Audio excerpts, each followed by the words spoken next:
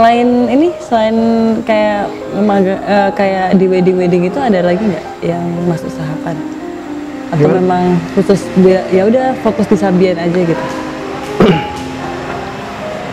Wah, sebelum maksudnya gimana nih ya? Sebelum jadi kan eh, kan ada prosesnya nih ya Hah? eh, untuk proses pembentukan Sabian dan lain sebagainya gitu Oh. itu memang udah mas fokus aja di mengusahakan Sabian ini atau memang ada alternatif pekerjaan lain gitu? Oh enggak, udah saya nggak tahu kenapa sih udah yakin aja bahkan saya pernah bilang sama tim, saya bilang kalau Sabian gagal, saya nggak tahu, saya belum punya plan lain, saya belum belum punya rencana lain. Jadi mau nggak mau saya harus bakar perahu saya biar saya nggak bisa balik. Gimana caranya saya berhasil di sini, gitu. jatuh bangun pertama yang paling diinget waktu sama Sabian Gambus sama Jatuh bangun sih bicara soal jatuh bangun nggak terlalu banyak mungkin ya. Karena prosesnya terlalu terlalu cepat sih buat menurut saya. Sabian ini? Iya cepat. Mulai dari saya bentuk sebelum ada Nisa itu kan berarti satu tahun. Satu tahun saya berjalan tanpa vokal baru ketemu Nisa dikukuhkan. Jatuh bangunnya cuma ya paling kita main di acara-acara yang dengan bayaran thank you kayak gitu-gitu aja sih. Dengan bayaran terima kasih oke udah.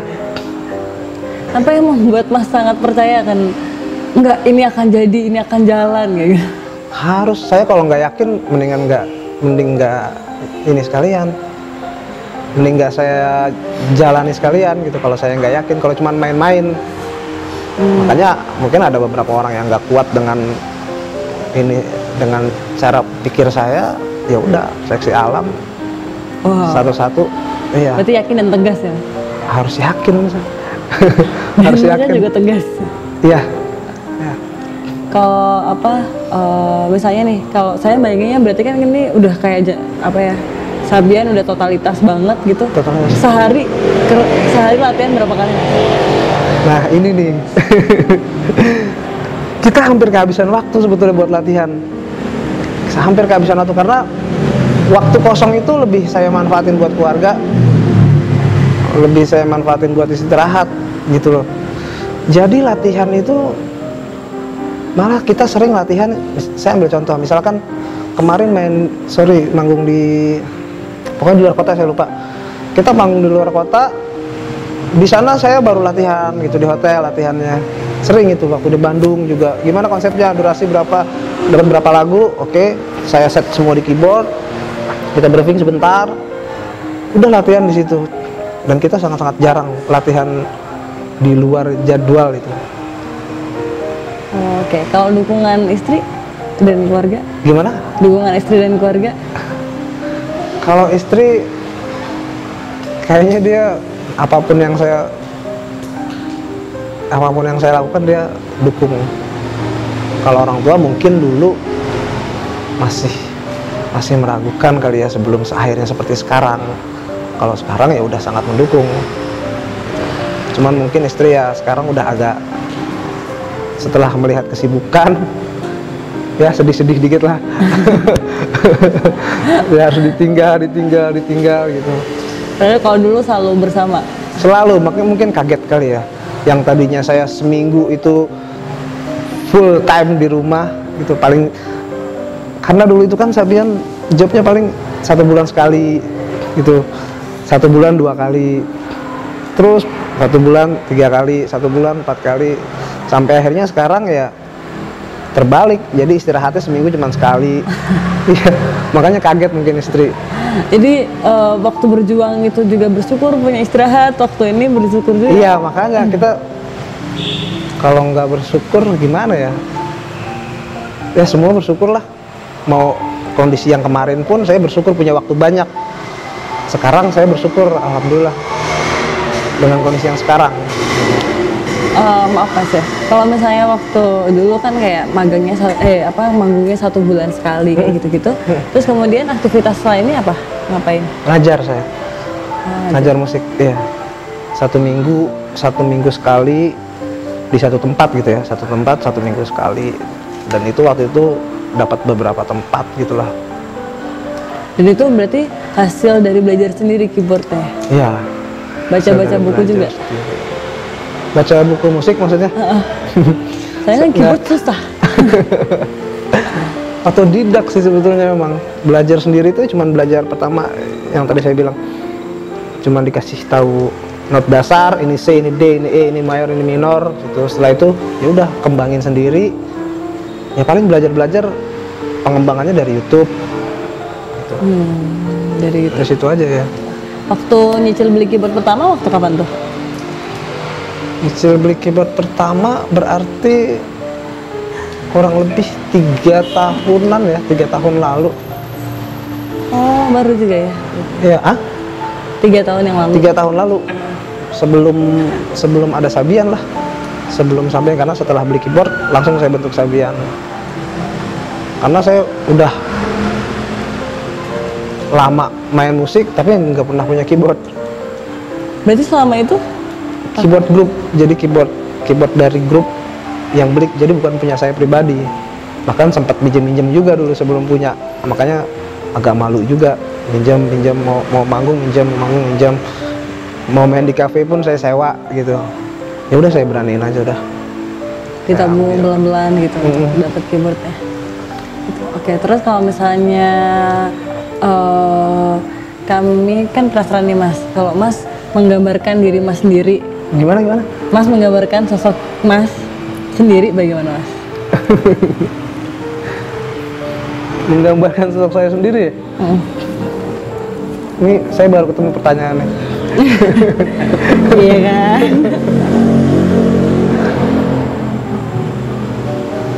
gimana ya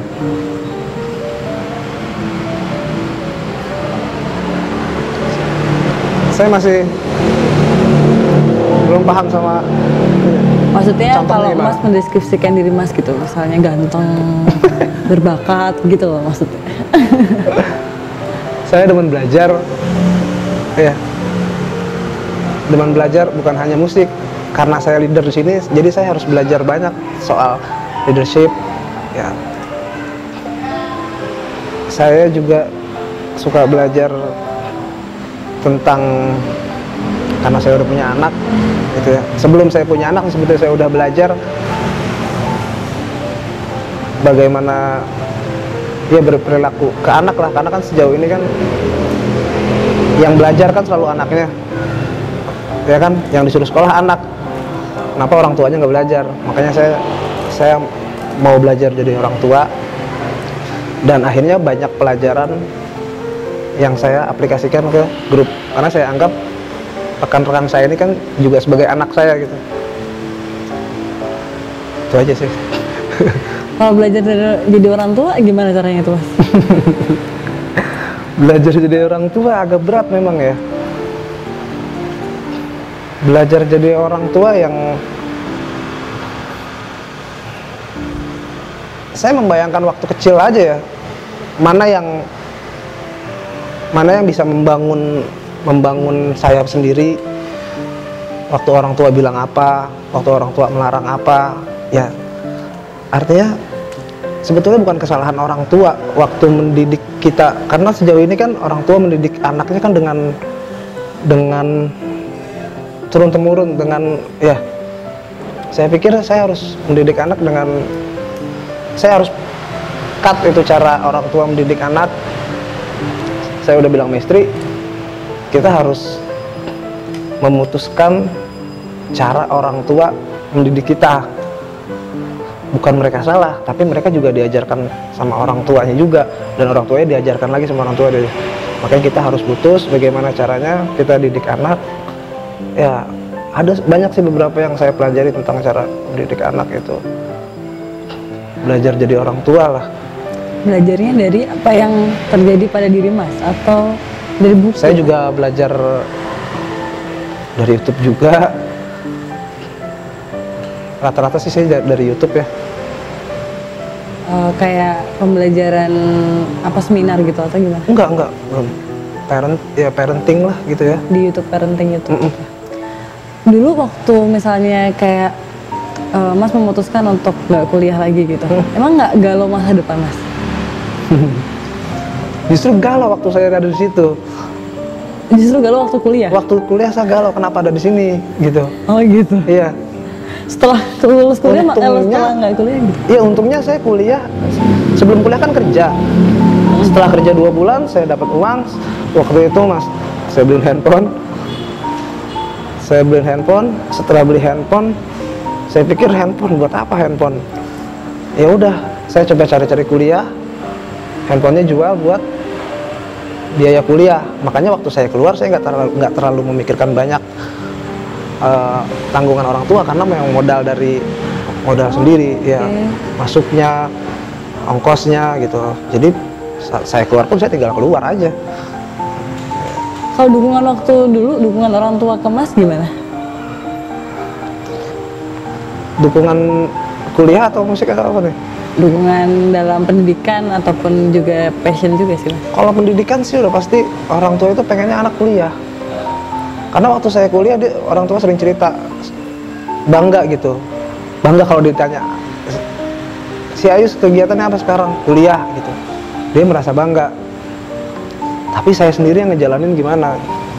Saya pribadi masih tetap nggak tahu kenapa ya musik lagi musik lagi Dan kemudian setelah setelah apa memutuskan untuk berhenti malah dapat keyakinan masa depan. Iya harus. Itu yang tadi saya bilang. Saya harus membakar membakar jembatan supaya saya nggak bisa balik. Ya udah saya beranikan diri ya, untuk keluar kerja, untuk keluar kuliah. Saya main musik aja. Total berarti total waktu itu kan Mas juga belum ada keyboard, Belum. ada apa. Terus gimana dong membangun untuk fokus ke musiknya? Waktu itu kan masih di grup, Mm-mm, di grup yang lama. lagi. Jadi ada penghasilan penghasilan kecil lah buat Terus sambil latihan gitu. mm-mm, buat gue buat sehari-hari lah. Berarti Mas dari waktu awal kuliah sampai sekarang penghasilan buat diri sendiri diri sendiri ya? Atau dari orang tua juga pernah waktu dulu kuliah kuliah? Karena saya waktu itu main musiknya SMA, Hmm? jadi hampir hampir uang saku itu memang dari hasil musik. Waktu saya main musik itu kan kurang lebih kelas berapa ya? Kelas 1 kelas 2 SMA kelas 2 SMA jadi kadang saya minta ongkos kadang saya dapat ongkos sendiri dari main musik gitu. dari mulai SMA itu udah alhamdulillah udah. Bisa dibilang setengahnya mandiri lah walaupun masih makan di rumah tapi kadang ongkos saya punya gitu Memang berarti udah udah belajar mandiri dari awal. Udah coba belajar karena saya juga anak pertama kebetulan Dari eh, berapa saudara? dari lima bersaudara Ah, Ada satu lagi mas pertanyaan. Kalau misalnya mas diberikan kesempatan untuk kembali ke usia 20-an tahun, apa yang mas lakukan? main musik Oke.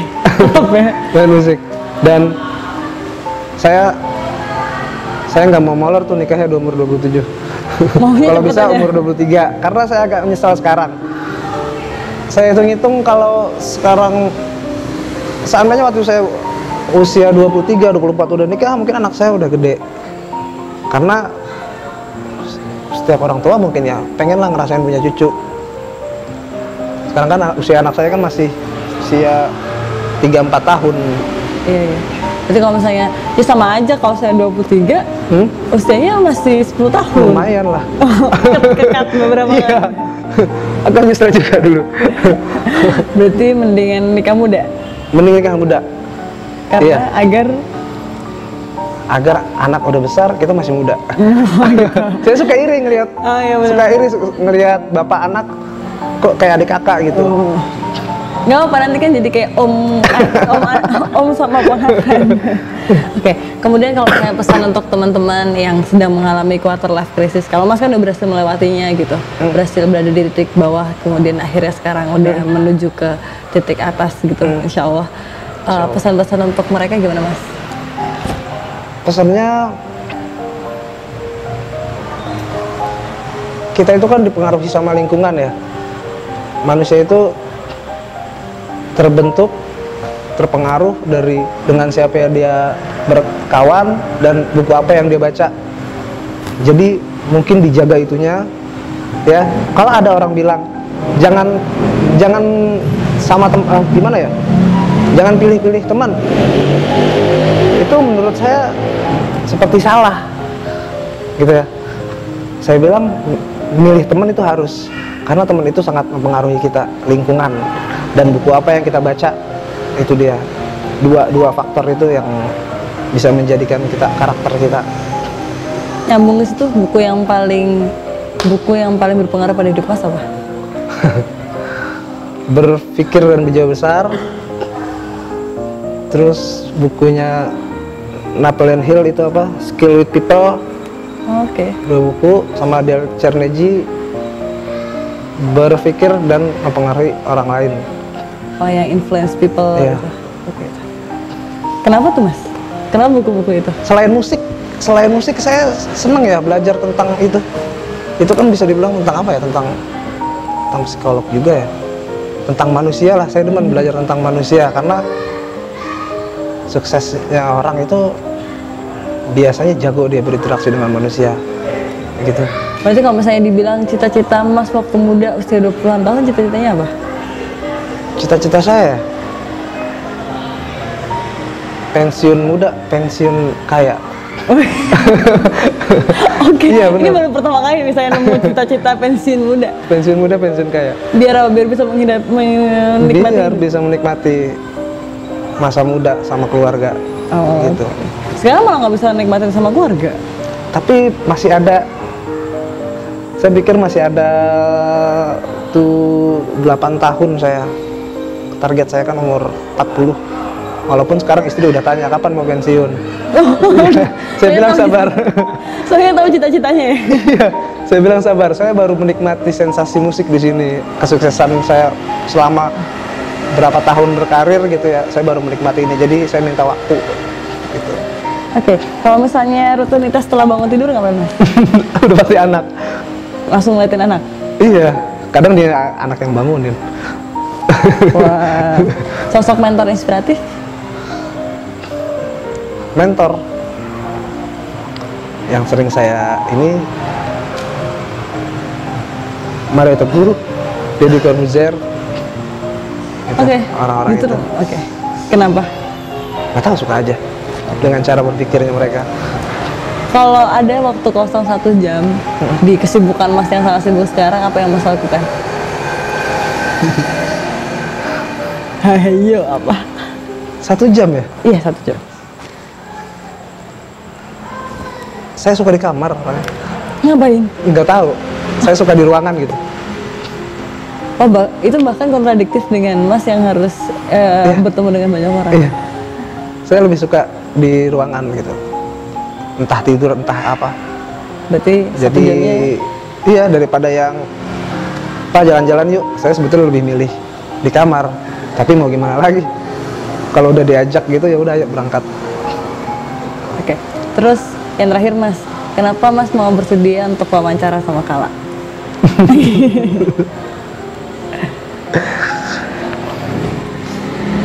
kenapa ya? Kita saya pikir kita saling butuhkan juga sih. Ya, kita saling membutuhkan. Mungkin ada masanya dulu saya juga butuh sama orang ada masanya juga saya harus memberi selain itu ya kita berbagi aja udah Semoga pesan-pesan Mas bisa menjadi pesan-pesan teman-teman juga yang bisa menghadapi usia-usia ini gitu. Iya. Karena kalau saya lihat perjuangan Mas berat banget waktu di quarter life crisis gitu, dengan keyakinan teguhnya kan. Iya. Dan banyak anak-anak yang eh, pada akhirnya menyerah dengan keyakinannya untuk Hmm. kembali ke realitas gitu. tapi hati-hati tuh keyakinan dengan nekat kadang Apa tuh bedanya? modal nekat dengan modal yakin itu kan hampir tipis sekali. Terus saya mau gimana? saya mau coba, aduh, saya mau kredit motor ah, yakin aja. Padahal nggak punya penghasilan. Saya baru tahu kalau itu namanya modal nekat, bukan modal yakin. Berarti kalau yakin apa? kalau yakin dia harus udah punya penghasilan, saya punya penghasilan segini, ini untuk jajan, ini untuk orang tua. Nah ini ada buat motor, nah, itu udah yakin. Pun juga seperti Mas meniti karirnya berarti ada modal musiknya gitu. Mm-mm. Itu Iya, modal, iya. modal yakin. Iya. Kalau misalnya nggak ada modal apa-apa Ya, berarti modal itu namanya itu. modal nekat. Oke. ya, terima kasih banyak Mas. Sama-sama. Ya, senang banget rasanya bisa berbagi cerita dengan Mas. Terima kasih.